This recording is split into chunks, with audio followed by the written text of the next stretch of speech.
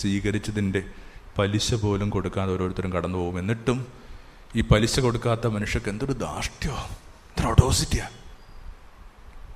ഇപ്പം നാലാമത്തെ അതാ വീട്ടാക്കടത്തിന്റെ പേരാണ് ജീവിതം. വലിയൊരു കടക്കാരനെ കണക്ക് ജീവിക്കാനായിട്ട് മനസ്സിനെ പഠിപ്പിക്കുക എന്നുള്ളതാണ് എന്താ പ്രധാനം. ജോലി കിട്ടി ജീവിത പങ്കാളിയുണ്ട് തിരികെ ചെല്ലുമ്പോൾ അത്താഴമുണ്ട് പാർക്കാൻ വീടുണ്ട്. നിങ്ങൾ വിചാരിക്കുന്നുണ്ടോ ഇതൊക്കെ നിങ്ങളുടെ മെരിറ്റ് കൊണ്ടാന്ന് അല്ല. നിങ്ങളെക്കാൾ പഠിച്ചിട്ടുള്ളവർ നിങ്ങളെക്കാൾ സാധ്യമുണ്ടായിരുന്ന മനുഷ്യരിപ്പോൾ എവിടെയാണ് നിൽക്കണം അല്ല വെറുതെ മഹാദാനത്തിന്റെ പേരാണ് ജീവിതം. അപ്പം അതിങ്ങനെ ഓർക്കുമ്പോൾ കണ്ണ് നിറഞ്ഞ് ജീവിക്കാം. കണ്ണ് നിറയാൻ മാത്രം കാരണങ്ങൾ ഉണ്ടായിട്ട് എന്തുകൊണ്ടാണ് നമ്മുടെ കണ്ണ് നിറയാത്തത്? കേൾക്കുമ്പോൾ കഥകളൊക്കെ തോന്നാവുന്നൊരു കാര്യം പക്ഷെ നടന്നാണ് നമ്മുടെ സെമിനാരിയിലെ പ്ലസ് ടുവിന്റെ മക്കളെ ഓപ്പൺ സ്കൂളാണ് കുറച്ച് ഇംഗ്ലീഷൊക്കെ ഞാൻ പഠിപ്പിക്കുന്നുണ്ടായിരുന്നു. ആ കൂട്ടത്തിൽ ഒരുത്തനുണ്ട് ഒരു തരത്തിലും രക്ഷപ്പെടത്തിലും നമുക്ക് ഉറപ്പുള്ള ഒരുത്തൻ. അപ്പോൾ അവന്റെ റിസൾട്ട് നോക്കാനായിട്ട് അടുത്ത സ്കൂളിലേക്ക് നമ്മൾ വിടുന്നത് രണ്ടുപേർ എസ്കോട്ടൊക്കെ ആയിട്ടാണ്. തിരിച്ചു വരുമ്പോൾ ബൈപ്പാസ്സാണ് ലോറിയുടെ മുമ്പിൽ ചാടാതെ ശ്രദ്ധിച്ചേക്കണം. എന്നിട്ട് ഇവന് കൗൺസിലിംഗ് ഒക്കെ കൊടുത്തു. പരീക്ഷയല്ല പ്രധാനം ജീവിതമാണ് പ്രധാനം എന്നൊക്കെ പറഞ്ഞ് പഠിപ്പിച്ചു വിട്ട. റിസൾട്ട് നോക്കാൻ പോയവൻ ഒരു അരമണിക്കൂറിനുള്ളിൽ ഒരു ഓട്ടോയ്ക്കകത്തൊക്കെ വരുന്ന ബോധമൊക്കെ ഇല്ല അത് അടുത്തിരുന്ന് രണ്ടുപേരും സോഡയൊക്കെ തെളിക്കുന്നുണ്ട്. ഇവനെ കൊണ്ടുവന്ന് വെക്കുമ്പോൾ നമ്മൾ ചോദിച്ചു പറഞ്ഞ കണക്ക് നടന്നു അല്ലേ? ഒരു അല്ല പറഞ്ഞ കണക്കല്ല നടന്നത്. ചെന്ന് നോക്കിയപ്പോൾ ഡിസ്റ്റിങ്ഷൻ ഉണ്ട്. അപ്പോൾ ബോധം കേട്ടാന്ന് പറഞ്ഞു കേൾക്കുമ്പോൾ ഈ ജഗതിയുടെയൊക്കെ കഥ തോന്നും. പക്ഷെ അല്ല. എന്ത് ചെയ്യുന്നേ? എട്ട് നിലയായിട്ടും പട്ട് പത്ത് നിലയൊക്കെ ആയിട്ട് പൊട്ടു എന്നൊക്കെ വിചാരിക്കുമ്പോൾ ഇങ്ങനെ ജീവിതം ഓരോ കാര്യങ്ങൾ വെച്ച് നീട്ടുമ്പോൾ ബോധമുണ്ടെങ്കിൽ ബോധം പോകാതെ എന്നാ ചെയ്യും? അതുകൊണ്ടാണ് ലൂക്ക പതിനേഴ് പതിനേഴ് വല്ലപ്പോഴും ഒക്കെ ഒന്ന് മനസ്സിൽ ശ്രദ്ധിക്കണം. എന്താണത്? എവിടെയാ ഒമ്പത് പേര്? Where are the nine? Where are the nine ജീവിതം മഹാദാനമാണ് തിരിച്ചറിയാത്ത ഒമ്പത് പേരാണ് എല്ലായിടത്തും അവരാ പെരുകിക്കൊണ്ടിരിക്കണം. ഒരാളെ കാണാനുമില്ല. എവിടെയാ ഒമ്പത് പേര്? നിങ്ങൾ ശ്രദ്ധിച്ചിട്ടുണ്ടാവും. ഈ ആരെങ്കിലുമൊക്കെ സൗഖ്യപ്പെടുത്തി കഴിഞ്ഞാൽ ക്രിസ്തു ഉടനെ പറഞ്ഞൊരു കാര്യമാണ് ആരോടും പറയരുത്. അപ്പം അത്രയുമൊക്കെ ശ്രദ്ധ പുലർത്തി ഈ മനുഷ്യൻ ഇപ്പം എന്താ ഇങ്ങനെ ചോദിക്കണം? ഗുരുക്കന്മാർക്ക് നമ്മുടെ കൃതജ്ഞതൊന്നും വേണ്ട. നമ്മുടെ കൃതജ്ഞത കൊണ്ട് അവർക്ക് ഗുരുത്വം വർദ്ധിക്കുകയോ നമ്മൾ തള്ളിപ്പറഞ്ഞുകൊണ്ട് അവർ ലഘുവായി പോയൊന്നുമില്ല. അപ്പം അവർ വളരെ സ്റ്റേബിളായ മനുഷ്യ പിന്നെ എന്തിനാണ് ഗുരുക്കന്മാർ നമ്മളെ സഹായിക്കുന്നത്? നമ്മളിലുള്ള ഏറ്റവും നല്ലത് പുറത്തു വരാനാ. The best of yourself ഒരാളുടെ ഏറ്റവും ബെസ്റ്റ് പുറത്തു വരുന്നത് അയാൾ കൃതജ്ഞതാഭരിതമായിട്ട് ജീവിക്കുമ്പോഴാണ് ഏറ്റവും ബെസ്റ്റ് ഏറ്റവും ബെസ്റ്റ് ഇല്ലെങ്കിൽ കൃതജ്ഞത നിൽക്കുന്ന ഒരു മനുഷ്യനെ ശ്രദ്ധിച്ച് നോക്കുക. ഉദാഹരണത്തിനായിട്ട് ഞാനിപ്പോൾ അച്ഛന്റെ മുമ്പിൽ ചെന്നിട്ട് ഒരു ജനുവിനായ കാരണമുണ്ട്. അത് അതൊരു കൃതജ്ഞതാഭരിതമായിട്ട് നിൽക്കാൻ എനിക്ക്. ഞാനിങ്ങനെ കരം കൂപ്പി കണ്ണു നിറഞ്ഞ് നിന്ന് കഴിഞ്ഞെന്നാൽ ആയുസ്സുള്ളിടത്ത കാലം അച്ഛനൊന്നും മറക്കില്ല. ഡിജിറ്റൽ ക്യാമറ കണക്കാണ് നമ്മുടെ മെമ്മറി. ഈ ഒരു മൂന്ന് ദിവസങ്ങളുണ്ടായ മുഴുവൻ കാര്യങ്ങളും ഒക്കെ എങ്ങാണ്ടൊക്കെ നമ്മൾ ഫീഡ് ചെയ്യുന്നുണ്ട്. പക്ഷേ നമ്മൾ കളക്ട് ചെയ്യുന്ന എല്ലാ ദൃശ്യങ്ങളും നമ്മൾ എന്ത് ചെയ്യുന്നില്ല ഡെവലപ്പ് ചെയ്യുന്നില്ല. ഏറ്റവും നല്ലത് മാത്രമേ നമ്മൾ ഡെവലപ്പ് ചെയ്യുന്നുള്ളൂ. അങ്ങനെയെങ്കിൽ നിശ്ചയമായിട്ട് ഉറപ്പുണ്ടാവും കരം കൂപ്പിയും കണ്ണു നിറഞ്ഞ ആ ഒരു മുഹൂർത്തം. ഒരാൾ കൃതജ്ഞതാഭരിതമായിട്ട് ജീവിക്കുമ്പോൾ അയാളുടെ സൗന്ദര്യം പുറത്തു വരുന്നു. ഭയങ്കര ശ്രദ്ധിക്കേണ്ട ഒരു സംഭവമാണ് അതുകൊണ്ട് ഈ കൃതജ്ഞതാഭരിതമായിട്ട് ജീവിക്കുന്ന മനുഷ്യർക്ക് ഇത്രയും ചന്തം. കാരണം എപ്പോഴാണ് സൗന്ദര്യം പുറത്തു വരുന്നത്? ഒരാൾ അയാളെ മറന്നു പോകുമ്പോഴാണ് ഒരു വീട്ടമ്മയ്ക്ക് ഏറ്റവും കൂടുതൽ സൗന്ദര്യം കിട്ടുന്നത് നട്ടുച്ചക്കെന്നാണ് പറയുന്നത്. കാരണം ഒത്തിരി കാര്യങ്ങൾ ചെയ്തു തീർക്കാനുണ്ട്. കുഞ്ഞുങ്ങൾ പള്ളിക്കൂടത്തിൽ നിന്ന് വരുന്ന എരുത്തിലെ പശുക്കൾ കരയുന്നുണ്ട്. ഇങ്ങനെ ഒരു പത്ത് പതിനഞ്ച് കാര്യങ്ങൾക്കിടയിൽ പെട്ട് നിൽക്കുമ്പോൾ അവർക്ക് എന്തൊരു സൗന്ദര്യം. ഒരാൾ അയാളെ മറന്ന് നിൽക്കുമ്പോഴാണ് അയാളുടെ സൗന്ദര്യം. അതുകൊണ്ടായിരിക്കണം ഈ കൃതജ്ഞതാഭരിതമായിട്ട് നിൽക്കുന്ന മനുഷ്യർക്ക് ഇത്രയും ചന്തം. നാലാമത്തെ അതാ ഭൂമിയിൽ ഏറ്റവും കൃതജ്ഞതാഭരിതമായിട്ട് ജീവിച്ചിരുന്ന ആളുടെ പേര് നസത്തിൽ യേശുവ. രാവിലത്തെ ആ സെഷന് ഞാനതൊന്ന് സൂചിപ്പിച്ചതാണ്. ഒന്നുകൂടി ആവർത്തി അവസാനിപ്പിക്കാവുന്നേ ഉള്ളൂ. ഏറ്റവും കൃതജ്ഞതാഭരിതമായിട്ട് ജീവിച്ചിരുന്ന മനുഷ്യൻ.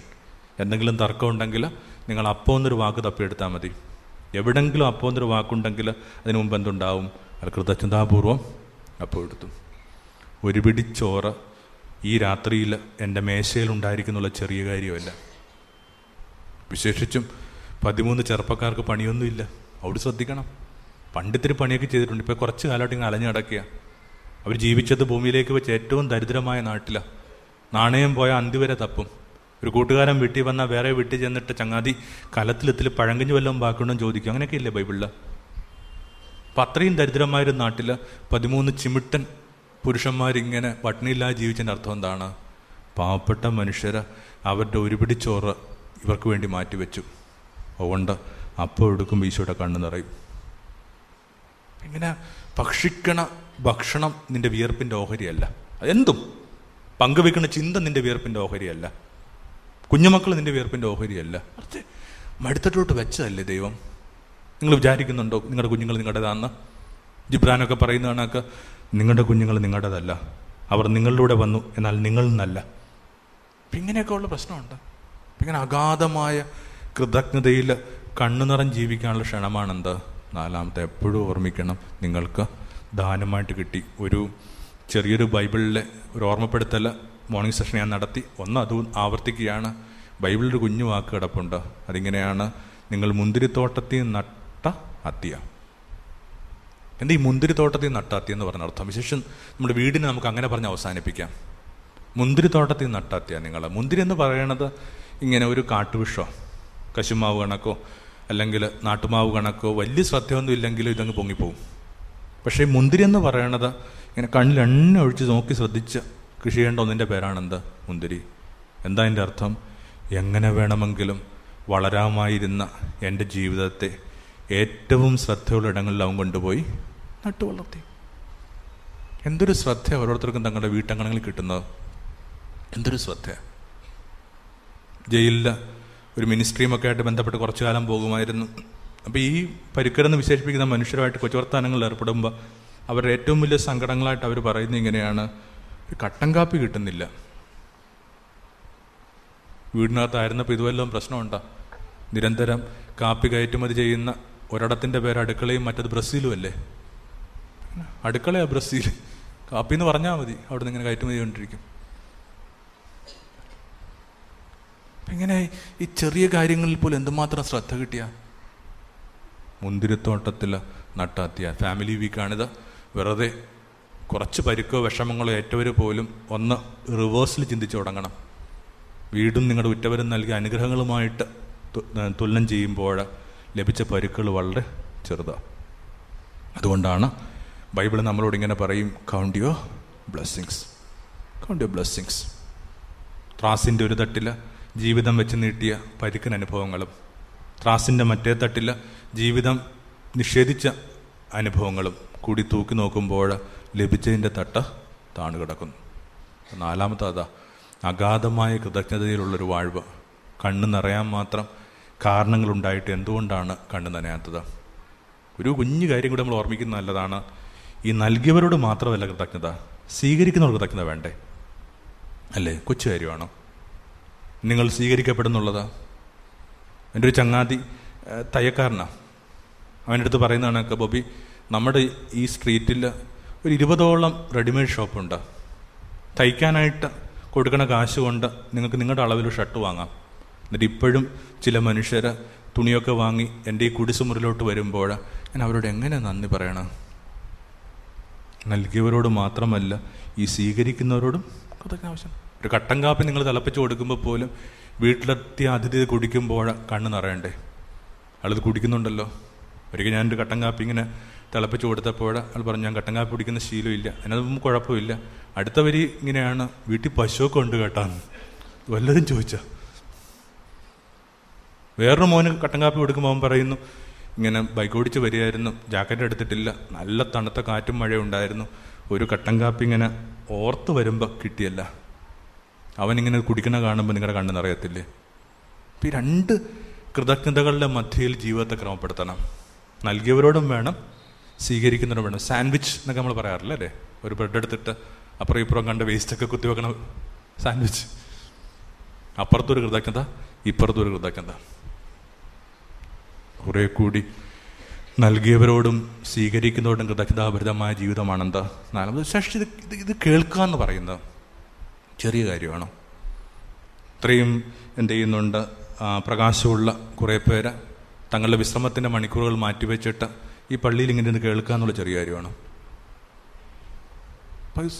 ഒരുപക്ഷെ അത്രയും ഇങ്ങനെ ശരീരഭാഷ കൊണ്ട് പ്രകടിപ്പിക്കാൻ പറ്റിയില്ലെങ്കിൽ പോലും ഒരു സെക്കൻഡ് നമ്മൾ കണ്ടച്ചിരിക്കുന്നത് ഈ ഉള്ളി കൃതജ്ഞതാഭരിതമാകാൻ വേണ്ടിയാണ് ദൈവമേ കേൾക്കുന്നുണ്ടല്ലോ. എന്തും തുടങ്ങുമ്പോൾ ഈ കർണാടക സംഗീതമൊക്കെ ആരംഭിക്കുന്നതാണ് തുടങ്ങാൻ പറ്റുന്നത് എന്തൊരു മഹാനുഭാവലു. എത്രയോ മഹാനുഭാവന്മാരാണ് ഇങ്ങനെ ഇരിക്കണം. അവർക്കൊക്കെ എന്റെ വന്ദനം. നസ്രത്തിൽ യേശു പഠിപ്പിക്കുന്നവരൊക്കെ ശ്രദ്ധിക്കേണ്ട കാര്യമാണ് ഇത്രയും എന്ത് ചെയ്യുന്നുണ്ട് ഡോക്ടർമാരുള്ള നഗരത്തിൽ എന്തുകൊണ്ടാണ് ആ രോഗി നിങ്ങളെ തപ്പി വരുന്നത്? നിങ്ങളുടെ കഴിവുകൊണ്ട് മാത്രമാണ്. അങ്ങനെ കണ്ണ് നനഞ്ഞ് വിനയപൂർവം മനുഷ്യർക്ക് ജീവിക്കാൻ പറ്റുന്നൊരു കാലത്തിന് എന്തൊരു സൗന്ദര്യമായിരിക്കും. നിങ്ങളെ തേടി വരുന്നു. നിങ്ങളെ ഇവിടെ സംസാരിക്കാൻ വരുന്നു. അത് ചെറിയ കാര്യമല്ല. അതുകൊണ്ടാണ് ക്രിസ്തുവിന്റെ ഗിരിപ്രഭാഷണം അത് തന്നെ ക്രിസ്തു ഗിരിപ്രഭാഷണം എന്താണ്? തന്റെ കേൾവിക്കാരോട് അവൻ നമസ്തേ പറഞ്ഞ രീതിയാണ് എന്ത് ഗിരിപ്രഭാഷണം. നിങ്ങളുടെ കൂട്ടത്തിൽ കരഞ്ഞവരുണ്ടോ? നമസ്തേ. നിങ്ങളുടെ കൂട്ടത്തിൽ വിശന്നവരുണ്ടോ? നമസ്തേ. നിങ്ങളുടെ കൂട്ടത്തിൽ നുറുങ്ങിയവരുണ്ടോ? നമസ്തേ. ബ്ലസ്ഡ് ആർ യു നമ്മൾ പലപ്പോഴും ആ സ്ലാങ് കൃത്യമായിട്ട് ഫോളോ ചെയ്യുന്നില്ല. നമ്മൾ യു ഷാൽ ബി ബ്ലസ്ഡ് എന്ന മട്ടിലാണ് വായിക്കുന്നു ബ്ലസ്ഡ് ആർ യു ഓൾറെഡി ഇങ്ങനെയൊക്കെ ഉള്ള നല്ല മനുഷ്യരായതുകൊണ്ട് നിങ്ങൾ അനുഗ്രഹീതർ. അപ്പം അങ്ങോട്ടും ഇങ്ങോട്ടും ഒക്കെ ഈ അനുഗ്രഹിച്ചും ആശ്രയിച്ചും ഒക്കെ ജീവിക്കാനായിട്ട് പറ്റണം. കേൾക്കാനുള്ളതെന്ന് പറഞ്ഞ ചെറിയ കാര്യമല്ല. ഒരു പൊട്ടത്തരം ഇങ്ങനെയാണ്. അച്ഛൻ ഇങ്ങനെ പ്രസംഗിക്കാനായിട്ട് പള്ളി വന്നപ്പോൾ ഒറ്റ ആളേ ഉള്ളൂ. നല്ല മഴയാണ് അച്ഛൻ പറഞ്ഞു എന്തിനാ ഇപ്പോൾ ഒരാളായിട്ട് ചേട്ടനും പോയിക്കോളാൻ പറഞ്ഞു? അപ്പോൾ പുള്ളി ഇങ്ങനെ വിളിച്ചു. എന്നിട്ട് പറഞ്ഞു അച്ഛൻ ഞാനൊരു കൃഷിക്കാരനാണ് രാവിലെ ഞാൻ എന്റെ കോഴിക്ക് തീറ്റ ഇടാനായിട്ട് പോകുമ്പോൾ അവിടെ ഒരു കോഴി മാത്രമേ ഉണ്ടെന്ന് പറഞ്ഞിട്ട് ഞാൻ തീറ്റ കൊടുക്കാതിരുന്നിട്ടില്ല.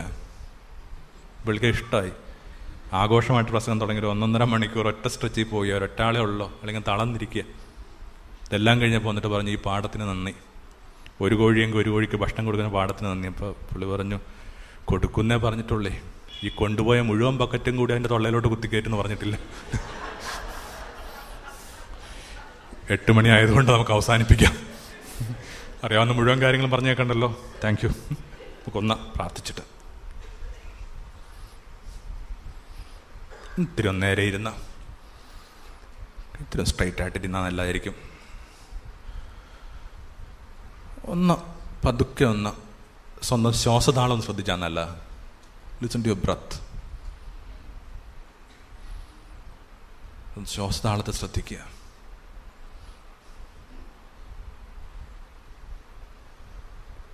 You are breathing God in. We are breathing God അവരെ മേൽ നിശ്വസിച്ചുകൊണ്ട് അവൻ പറഞ്ഞു ആത്മാവിനെ സ്വീകരിക്കുക. കുറെ കൂടി ശിലമേൽ പണിതൊരു ജീവിതത്തിന് വേണ്ടി പ്രാർത്ഥിക്കുക. നമ്മൾ കണ്ട ചിന്ത ഒന്ന് ക്രോഡീകരിച്ചിട്ട് ബഹുമാനപ്പെട്ട അച്ഛന്മാരെ പ്രാർത്ഥിച്ച് ആസ്വദിക്കും കണ്ട ചിന്തകൾ ഇങ്ങനെയാണ്. ഒന്ന് ചിതറപ്പെട്ട ഇസ്രയേലിൽ നിന്ന് പോവുക. അതിനെ ശ്രദ്ധിക്കുക. നിന്റെ ഗാർഹിക കാര്യങ്ങളെ കുറേ കൂടി ക്രമപ്പെടുത്തുക. കുറേ കൂടി ശ്രദ്ധിച്ചു തുടങ്ങുക അങ്ങോട്ടും ഇങ്ങോട്ടും. കളഞ്ഞു പോയി ചിരിയെ വീണ്ടെടുക്കുക. രണ്ട് വിളമ്പിയത് ഭക്ഷിക്കുക. ചില ജീവിതാനുഭവങ്ങളെ സ്വീകരിക്കാൻ മനസ്സിനെ പഠിപ്പിക്കുക. മൂന്ന് സൗഖ്യം ആവശ്യമുള്ള മേഖലകൾ സൗഖ്യത്തിനു വേണ്ടി പ്രാർത്ഥിക്കുക. തന്റെ ക്ഷതങ്ങളാൽ അവൻ ഭൂമി ഇപ്പോഴും സൗഖ്യപ്പെടുത്തുന്നുണ്ട്.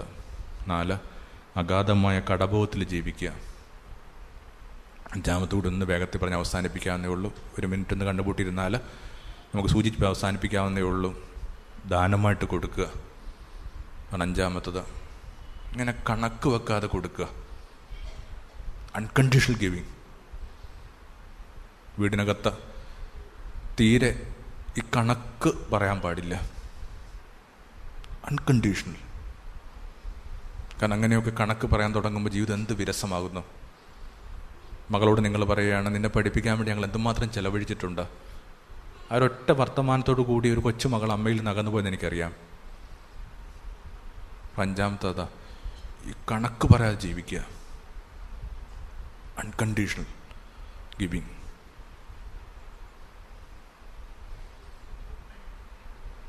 നാളെ നമുക്ക് ആറ് തൊട്ടുള്ള കാര്യങ്ങൾ കാണാൻ വേണ്ടിയാണ് ഇതൊന്ന് സൂചിപ്പിച്ച് അവസാനിപ്പിക്കുന്നത്. ഉപാധികളോ വ്യവസ്ഥകളോ പട്ടികകളോ ഒക്കെ ഇല്ലാതെ ഇങ്ങനെ കൊടുക്കാൻ പഠിക്കുക. ഒന്നിന്റെയും കണക്ക് സൂക്ഷിക്കാതിരിക്കുക. വിശേഷ മക്കളിലൊക്കെ ചൊരിയുന്ന സ്നേഹത്തിന്റെ കണക്ക്. എന്തൊരു ഭാരമാണ് അത്തരം ഇടങ്ങളിലൊക്കെ ചില മക്കൾക്ക് കിട്ടുന്നത്. വീടിന് വേണ്ടി പ്രാർത്ഥിക്കുക. പകൽ മേഘമായും രാത്രി അഗ്നിയായും കർത്താവ് യേശുവേ എന്റെ വീടിനെ പൊതിഞ്ഞു നിൽക്കണമേ.